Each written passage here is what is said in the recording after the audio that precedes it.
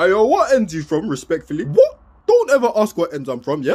Because it don't concern you. But thanks for asking, because man them don't really be taking an interest in man's personal life like that nowadays. Ah, no problem, fam, man. I'm sorry to hear that, you pussy. -o. Are you dumb by any chance? Well, I don't know if I'd use the word dumb. Maybe uninformed is probably closer to the truth. But then I suggest reading literature, fam. Yeah? That shit changed my life. Nah, because if I start appreciating that, I might have to take your advice. Still, hey, yo, that watch you got, low-key kinda nice. Whoop. Thank you. Thank you for noticing, blood. Why don't you run me that, cuz? Please? Is that a threat? Nah, bruv.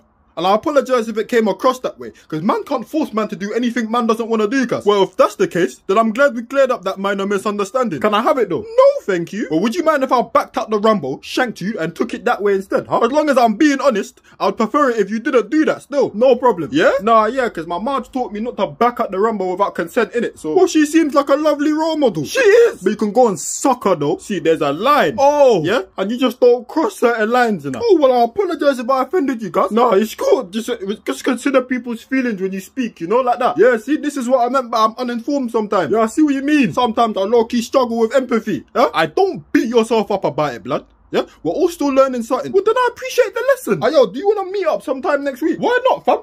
Because when I catch you, it's on sight. Say no more, fam. I can't wait. I can't wait.